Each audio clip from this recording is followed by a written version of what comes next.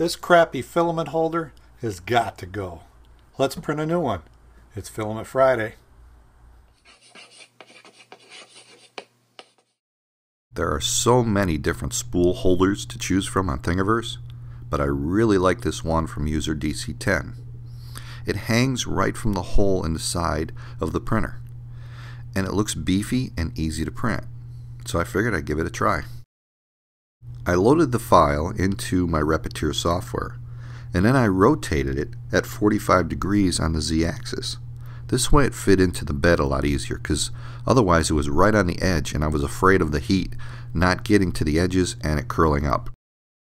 So I used Cura to slice it at a 0.2 layer height and a 25% fill. Then I selected my ABS setting which put the filament at 205 degrees and the bed at 80 degrees. So Cura reported that it would take just over two hours to print and 17 meters of plastic. So I sent it off to my printer to see how this would turn out.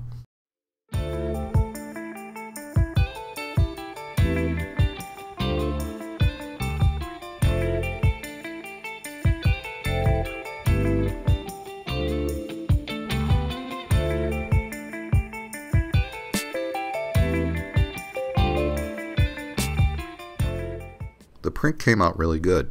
No warping, no splitting, and it fit tight right on the side of the printer. It seemed pretty solid.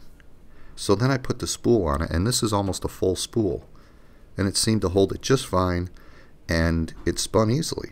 So I decided to print another one for the other side and use this one to test it out.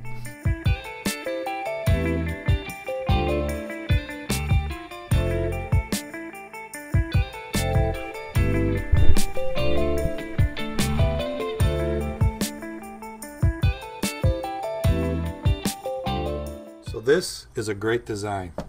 It's easy to print, it's solid, and it worked well. And now I've got one on each side. So while this one's printing, I can load a different color on the other side, ready for the next print.